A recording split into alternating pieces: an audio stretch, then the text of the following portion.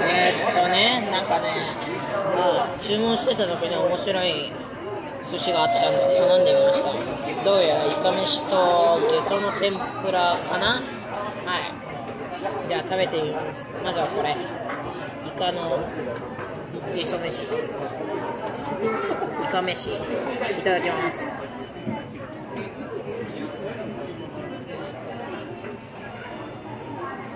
硬いうん。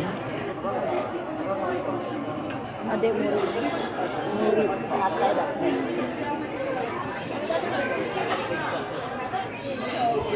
うまいすごいなんか米がすごい凝縮してて焼きおにぎりみたいな、うん、美味しいです。硬い？硬い。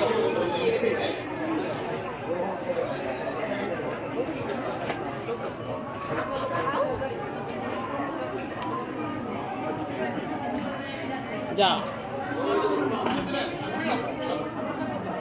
じゃあ次に。ゆっくり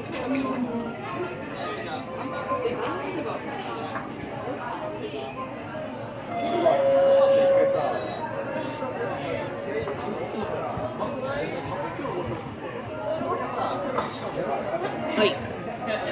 次はイカのゲソの天ぷらです。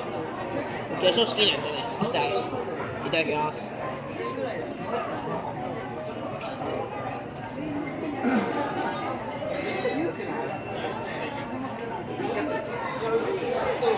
うん。お菓子のスルメ。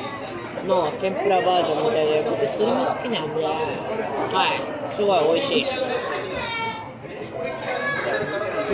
ん。美味しい。